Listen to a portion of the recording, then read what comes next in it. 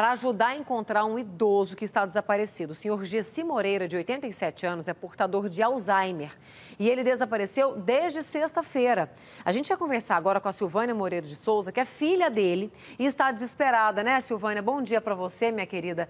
É, eu imagino a angústia, né? A gente abriu a edição de hoje do Goiás no Ar mostrando uma família que também está em busca, né, de um rapaz que está desaparecido.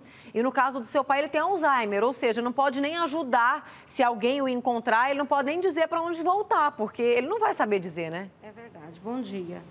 É, para a gente está cada dia mais desesperador. Cada dia que passa, a agonia fica mais, né? Ontem nós ficamos um pouco mais aviliados, porque nós fizemos uma busca com, com carro de som, com panfletagem, e nós tivemos notícia dele, né? Ah.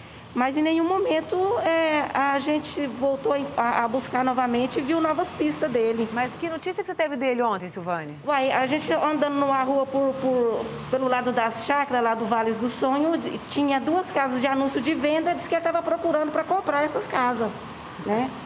E no outro foi no, no supermercado.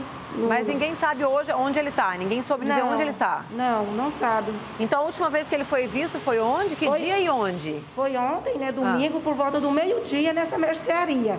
E a tá, merce... Qual que é o setor, perdão, Silvana? Vale dos Sonhos. Tá, Vale dos Sonhos, então ele foi visto ontem por volta de meio-dia. Isso. Então as pessoas que, que, que virem, a gente está inclusive rodando a foto dele, ali está dividindo imagem com você, é, é, é, é, é para poder localizá-lo. Ele tem Alzheimer e aí muito provavelmente ele não sabe, né, o, o Silvânia, dizer onde ele mora, o telefone, nada não, disso. Não, até porque ele não mora aqui em Goiânia, ele é do interior, ele tá. estava na minha casa há uns 20 dias para fazer exames, né, justamente tá. por consequência dessa desse desenvolvimento do Alzheimer, porque isso tem pouco tempo.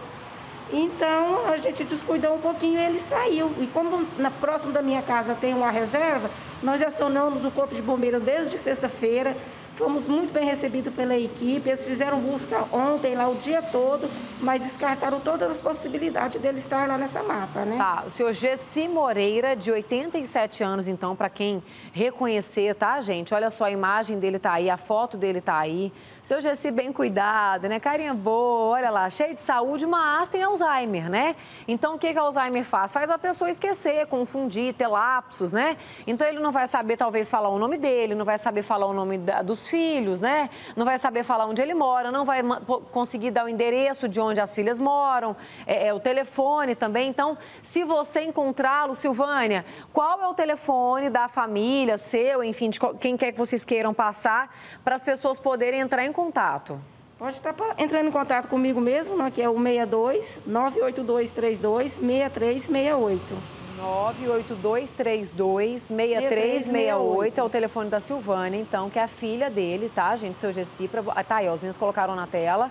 82326368, é o 062, para você poder dar qualquer tipo de notícia que vai ajudar em muito a família. Só de saber que ele está bem, né, Silvane? Que Isso. ele foi visto ontem já é um alívio. Já, mas, mas não deixa de ser preocupante, porque mas não sabe aí... onde ele passou a noite, por exemplo, né? Com essa chuva, a gente acordou assim desesperado? Imagino. né? Eu Madrugada, a gente, eu acordei e não consegui dormir mais. Ai, meu Deus, mas vai estar tá tudo bem. Se Deus quiser, alguém deu abrigo para ele, ele vai estar tá é. bem. E aí, se Deus quiser, qualquer pessoa que, que o ajudou, né? Ou, ou que sabe quem o ajudou, vai estar tá nos assistindo agora.